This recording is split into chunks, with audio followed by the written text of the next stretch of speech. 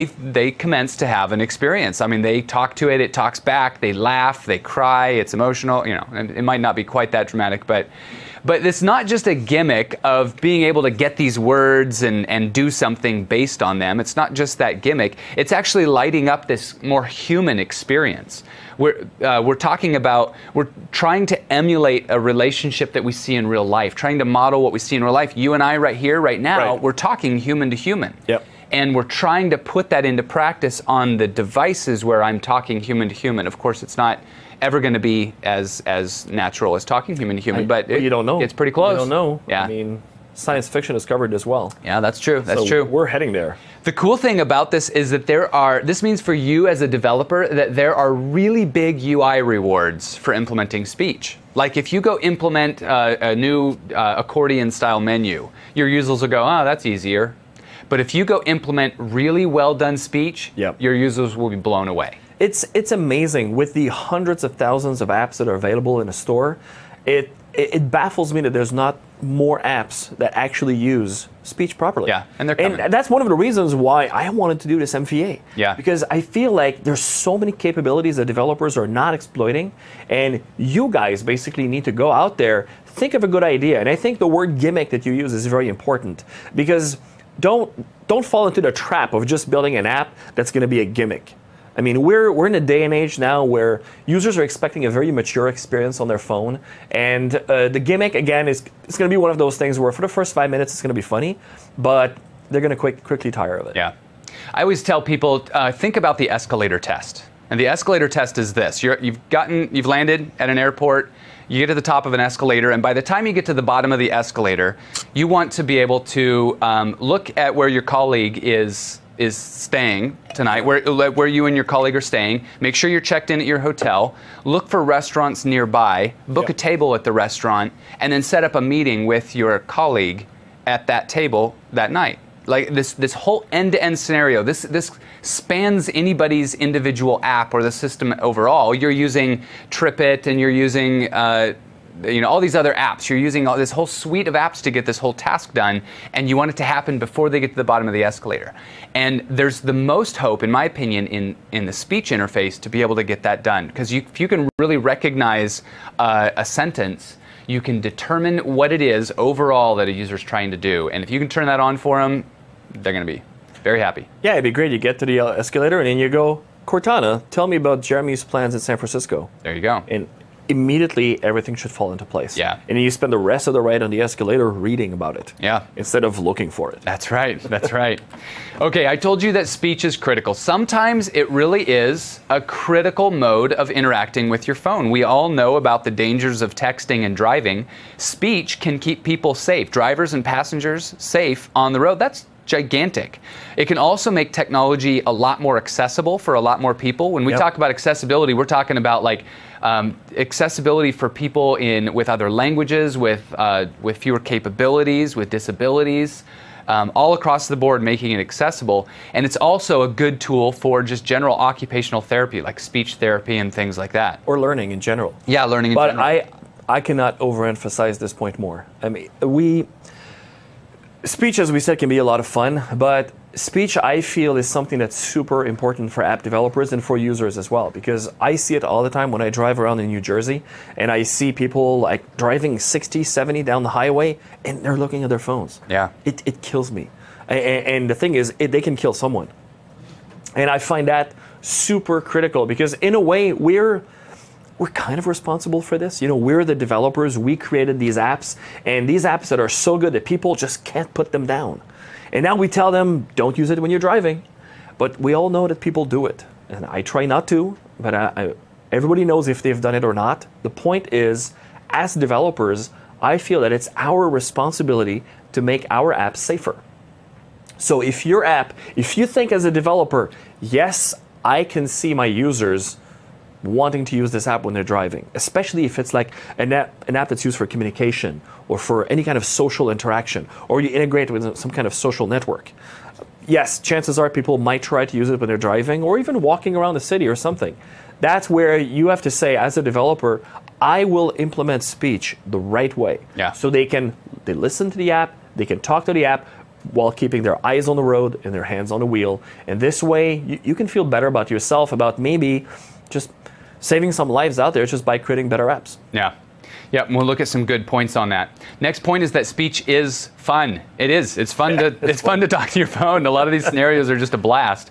So, uh, you know, some of the speech scenarios that you go through are not to make a person more productive or get tasks done. They're just for fun. They're just pure whimsy, and that's okay. Because if it makes a person enjoy your app and download it and rate it, then that's what you're after, right? Yeah, and that's important too because imagine like you're working with, you know, we have coworkers and everything. If you have a coworker who's like super efficient and all they do is work, work, work, and everything, great. They're, they're, they're a great team worker and everything.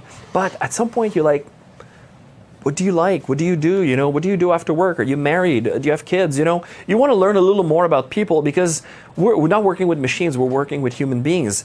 When it comes to the app, if the app is talking, we also want something that can be a little fun as well. Yeah. Because if it's just like cut and dry features, information, and everything, you're like, yeah, okay, but I don't feel the connection. Yeah. And I don't click. Yeah, yeah, we got to keep it fun.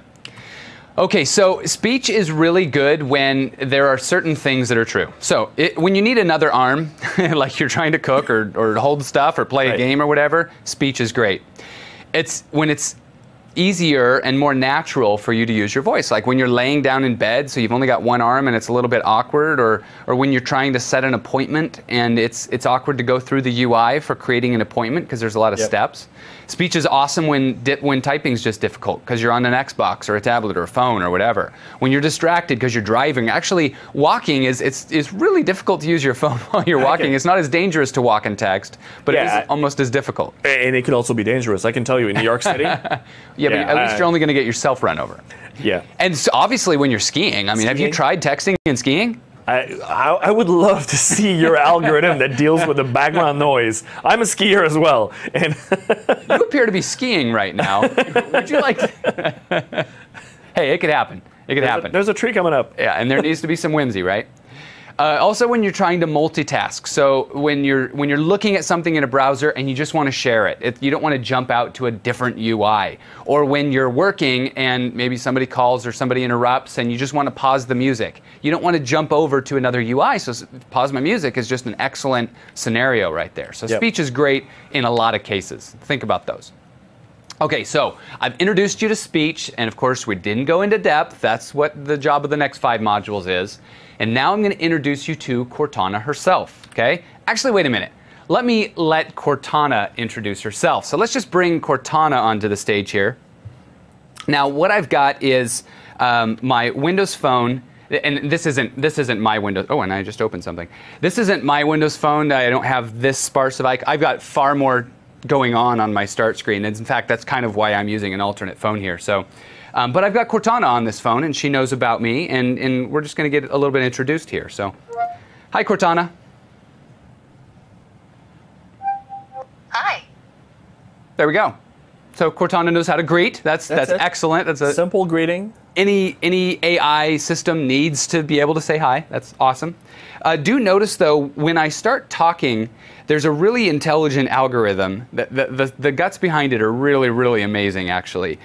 That allow you to see the, uh, the words as they get recognized, and you can even see that as it's trying to figure out what it would what it would be, it uses the context to determine it. So let me just try that same thing again and, and watch what is recognized at the bottom of the screen here. Hi, Cortana.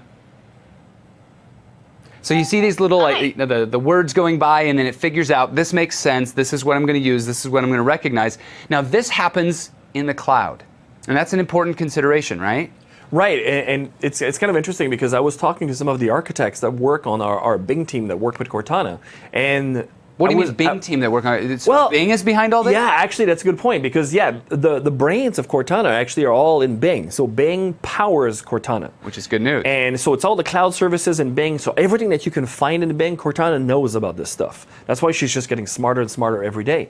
And the cool thing is that when you're doing speech recognition there, when you're talking to your phone, see, it's funny how now we're just focusing on what Cortana says, but we're just assuming that, hey, she'll understand because the speech recognition, it's that good. yeah, yeah, it's real good. And it's really the way it works is that when you talk to your phone, it's using a local speech recognizer, and we're going to look at this uh, on how you can actually use it as a developer.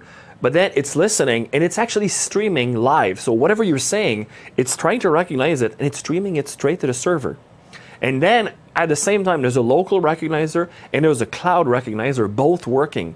And at some point, the cloud recognizer, of course, has access to like machine learning algorithms and tons of machines in the cloud. It can say, "Okay, I got it. I know. I know what he or she wants," and then it will just send send it back to the user and say to the phone and say, "This is what they were trying to say." Yeah. And then, of course, follow up with a response. Yeah. It's extremely powerful. Well, let's follow up and let Cortana tell us some more. Cortana, can you tell us about yourself? Much of a swimmer. Can you tell us something more? Okay, so this is what happens. Uh, uh, You mentioned that this is powered by Bing, it's backed by Bing, and anytime you say something, which is obviously very possible, that Cortana doesn't really make any sense out of, or you know, she hasn't been programmed to respond to, then she uh, drops down to a generic search, Bing which is helpful because a lot of times you, this, this Bing search is going to have the information that you were looking for. Right, because I mean, the information that you might be asking about could be extremely specific, or or sometimes it's not like a direct answer. Yeah. You know, so you, you basically would need to sift through maybe a few pages to find your answer. Maybe it's an article about a piece of code or something. So it's not like Cortana is going to start telling you, oh, this is how you, you write this piece of code. Yeah. So it's important to have like a fallback plan, which is doing a Bing A search. generic search, which is a good plan, yeah. And I want to point out that, um, first of all, Cortana's learning a lot about us, and we'll talk about how that works in just a second. But also, we're kind of learning about Cortana and, and how she works, and the fact that there are certain things that we can say, certain ways that we can say it that will help her to understand it. And there's certain phrase, there's certain um, speech scenarios that where, where Cortana's listening for a follow-on sentence. So I can ask her something, she can respond, and then I can say something else, and it will be a continuation, or it'll take the context of what you're using. And so you'll learn how those work, and I'll show you some examples. But let's just go ahead and uh, try this again. So let's say, can you tell us about yourself? I'm Cortana. I help you get things done. And when you tell me the things that interest you, I put them in my notebook so I can make suggestions and keep you up to date. There we go. Well, Yeah, that better, was- better that than I could have said it. Yeah, that was very specific. Yeah, that's who Cortana is. Do you know who I am? You are Code Foster. Ah. oh, wow. So she, knows who I am. She knows your nickname even. Wow. On, on this machine, whenever I set it up, I told her who I am, and I log in with a live account and um, with a Microsoft account and, and get all my credentials. And so she knows who I am, and that's how she can start remembering things. Th- Does about me. Cortana follow you on Twitter? I think she does, yeah. But I think a lot of people should follow you on Twitter now. so. What do you know about me?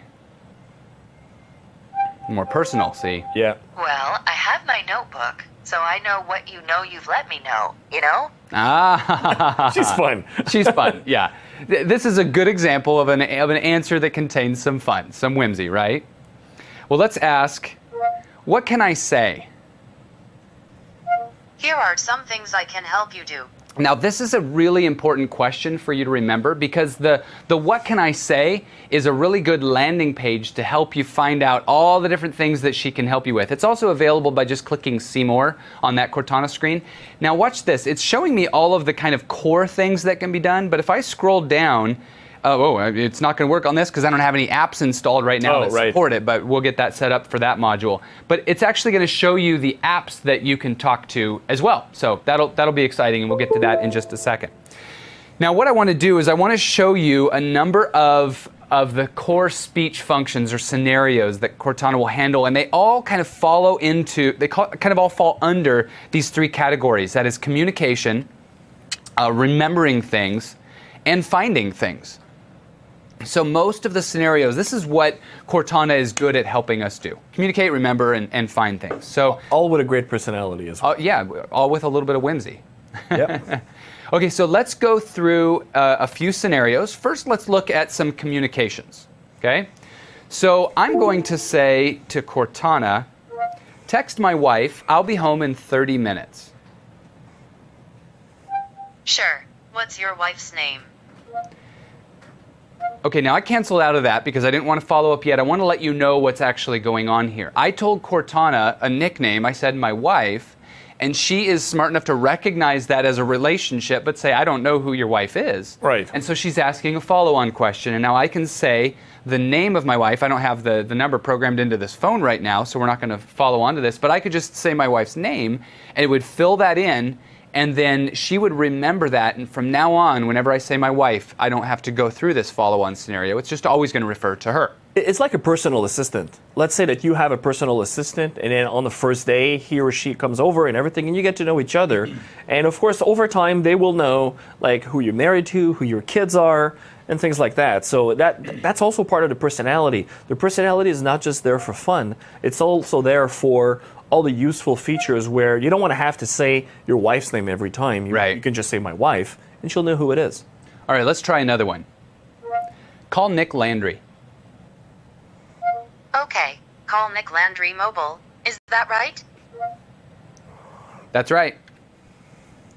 Call Nick Landry Mobile. Is that right? Yes. All right. Calling Nick Landry Mobile.